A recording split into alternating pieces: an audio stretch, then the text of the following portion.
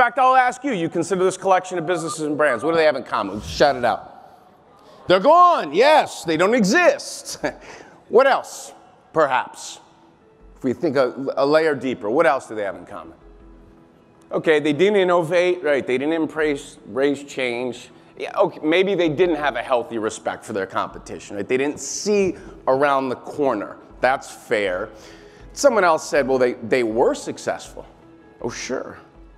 Yeah, you could argue that this group of brands represented the very epitome of success in each one of their categories until the world changed, which is actually one of the big challenges to being inherently or historically successful is that success over time, by its very nature, tends to breed complacency.